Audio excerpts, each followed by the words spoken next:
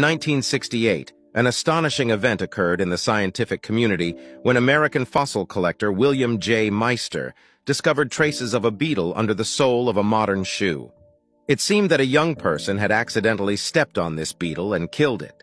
However, the strange thing is that this beetle species had been extinct for at least 260 million years, even before the first dinosaurs appeared. And the shoe with its modern design was clearly manufactured after 1970. So how was this fossil created?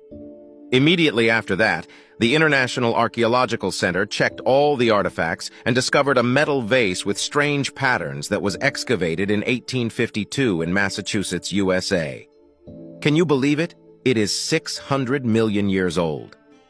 Since then, researchers have seriously considered removing the theory of evolution from all education systems. And finally, the most important evidence was discovered in 1972 when workers in the Republic of Gabon, Africa, found hundreds of barefoot prints of many human individuals. Following that, they discovered an abandoned high-tech nuclear reactor, and the results of the appraisal showed that the reaction and footprints are 1.8 billion years old. The question arises, where did they come from?